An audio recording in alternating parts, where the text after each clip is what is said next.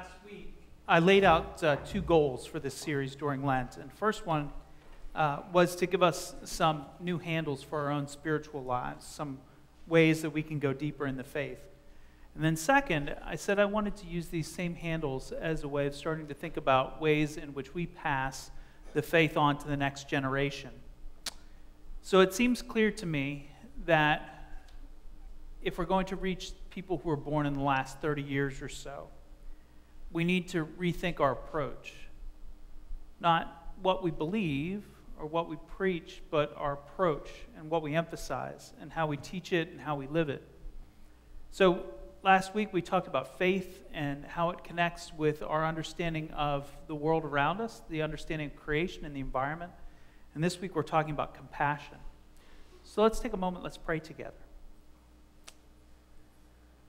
God, we thank you we thank you for surrounding us with your great love. We thank you for the gift of the scriptures, for the gift of music, for the gift of worship, for the opportunity to come together. And we pray that you would surround us in these moments with your wisdom, with um, a spirit of understanding. Would we pray these things in Jesus' name? Amen.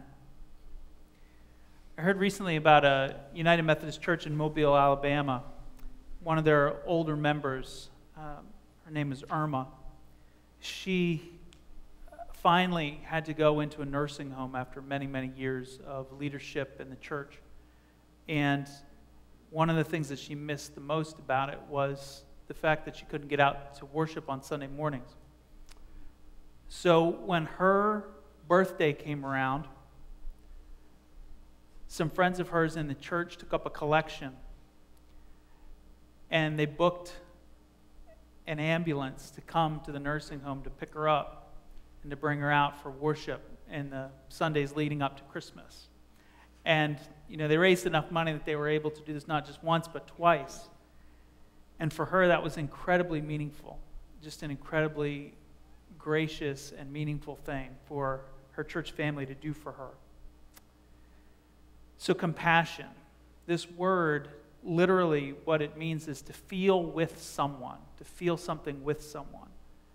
So Irma's friends felt how much this was paining her not to be able to make it out to church. And they ministered out of that, feeling that with her. They ministered out of that and found a way to help her. I remember when I was a Boy Scout, you know, in the days before GPS, and um, one of the things that we had to learn for our orienteering merit badge, right, was how to use a compass. And so I remember walking around the streets of the town where I grew up, and it was a, uh, it was kind of like a scavenger hunt.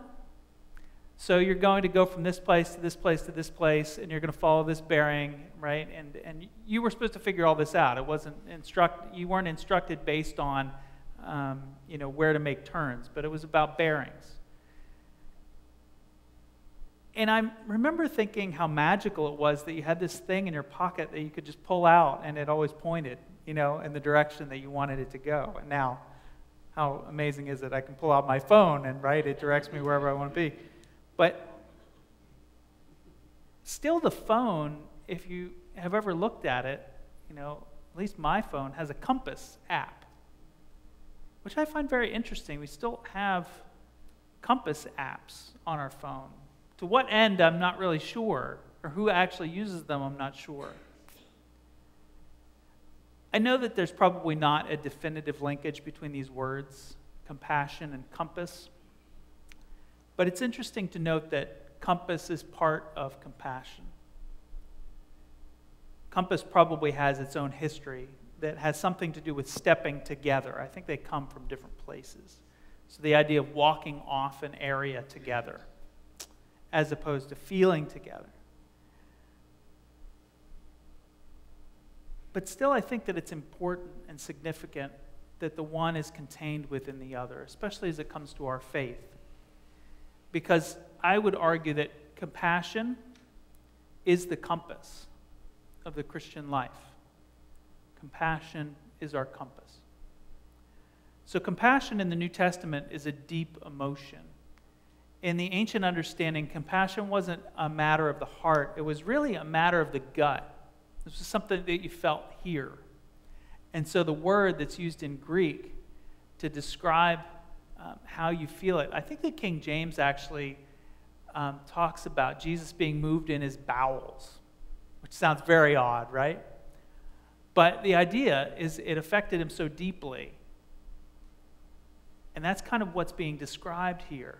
And Jesus, of all the people in the New Testament, is described most often as being moved with compassion. About a dozen times in the New Testament, this word is used to talk about how Jesus is feeling. Now, today's gospel lesson is not an easy lesson.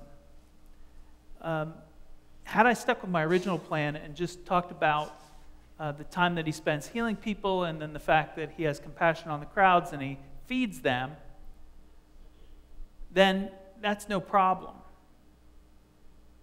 Jesus has compassion on the crowds who are traveling with him because they've been with him for three days.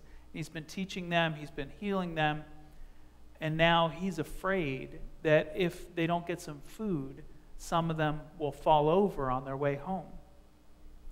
So that should be an easy sermon. So care for people, have compassion. The middle part of the reading, of course, that describes the healing that he does, is also a story of compassion. Jesus sees their needs and he meets them. There, Jesus most clearly allows compassion to be his compass. But the first part of this passage is different, isn't it? It's very different. Here, Jesus seems anything but compassionate. This is probably one of those passages that confounds people most of all when they read it. So, this is a very famous passage because it is so confusing. He encounters this Canaanite woman, and we wonder is this even Jesus, you know, the Jesus that we know? Who is this person who's talking with the Canaanite woman? Now, scholars say that probably the reason why he's traveling in this area, the area around Tyre and Sidon, is because uh, he's probably looking to get away. He, Tyre and Sidon are way up at the very northern edge. They're on the seashore, they're at the very northern edge of the region of Galilee. And so Jesus is probably looking to go a little bit outside of his own borders in order to get away from the people who have been following him. And then he runs into this woman. Now, when she approaches and she asks for healing for her daughter, Jesus at first ignores her, which strikes us as being very surprising. Well, but meanwhile, the disciples are saying, Lord, send her away. Right? She's driving us crazy. She keeps yelling at us to do something. What can we do? finally, when she throws herself down on the ground and she begs Jesus for help, all Jesus says to her is, It's not fair to take the children's food and throw it to the dogs. Now, in the Middle East, to call somebody a dog is an insult. So now Jesus has not only ignored her, but he's also insulted her. But if you read back a little bit in the gospel, if there's an explanation at all, the thing that comes to mind is the fact that Jesus makes this same statement about who his mission is for back in Matthew chapter 10. When he sends out the disciples, he says, Don't go anywhere among the Samaritans, don't go into the homes of any Gentiles.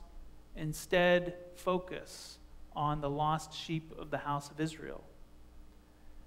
And so when he's confronted by this Canaanite woman, this is what he has in his mind. My mission is not to Canaanites. My mission is to not to people from Tyre and Sidon. My mission is to the lost sheep of the house of Israel. And so he says to her, basically, I'm sorry, but I can't help you. Right? I can't. You know, compassion is a hard thing. I had a professor one time um, tell, tell, me, and she's a friend of mine, and she's a wonderful person. Uh, she said to me, You know, I thought I was going to be a pastor too until I realized people were going to be coming to me all the time and telling me their problems. and then I decided to study the Bible instead. I spent a summer doing a, an internship as a hospital chaplain. I learned a lot, and one of the things that I learned in that was I just can't do this every day. There is no way I could ever be a hospital chaplain every day. Because compassion is just too hard. And I think that that's one of the reasons why Jesus so often goes off by himself he goes out off to pray, yes, but he goes off to recharge and to recover and to rebuild his ability to have compassion. For compassion to act as our compass, our hearts have to be soft enough and tender enough to be able to feel what someone else is feeling, to be able to feel with someone else. But after a while, all of us reach this place where we just are not that anymore right? It just builds up to the place where we say, you know what, I can't, I can't do it anymore. So, one of the books that I read to prepare for this series, and actually that this structure of the series is based on, is a book by a um, pretty well known writer. His name is John Philip Newell. And the book is called The Rebirthing of God Christianity's Struggle for New Beginnings. And in that book, he has a chapter on compassion. And one of the things that he describes, he describes compassion as an act of courage. And he says it takes actually three different dimensions of courage in order to practice compassion. He talks first about the courage to see, and then the courage to feel, and then the courage to act. To see, and then to feel, and then to act. So, the seeing part, you know, it's easy for us to ignore suffering. We can turn off the TV, right? Which is kind of our you know, preferred method. When something gets a little too overwhelming for us, we turn off the TV. We can, you know, stop listening and tune out. Even though somebody's telling us something, we can mentally just check out, right? We can walk past people on the street and just kind of avert our eyes when we see something that somebody's posting on Facebook that's, you know, somewhat distressing to us because it challenges our point of view or, or it's something that we say, wow, that's pretty intensely personal, um, we can scroll past it instead of engaging with it. Jesus just wanted to ignore that woman that was in front of him. The disciples wanted to ignore the woman who was in front of them they say specifically, tell her to go away, right? We don't want to see her anymore. We don't want to hear her anymore. So there's this idea there that's very powerful, you know, that out of sight and out of mind. But then when the woman throws herself on the ground and she begins to plead her case, and even when Jesus insults her, she doesn't walk away and she doesn't give up. She continues to engage. She continues to challenge his perspective. Yes, but even the dogs eat the crumbs from under the master's table. I don't know exactly what happens in Jesus' thinking in that moment, but something shifts. Something breaks open. So he has this rule that he set for the ministry that says no Gentiles Jews only, right? He has this rule that he set. But in this moment, Jesus has this choice. What matters more? Is it going to be the rules that I've set? Or is it going to be the person who's right in front of me? Which makes more of a difference? I would argue that it, in probably 50% of the cases anyway, the thing that keeps us from actually following our compass of compassion are rules that we've set. As a church, as society, laws, right? There are laws on the books in, in cities where you can't feed the homeless, where it's illegal to feed the homeless. We set these rules that keep us from being able to practice compassion.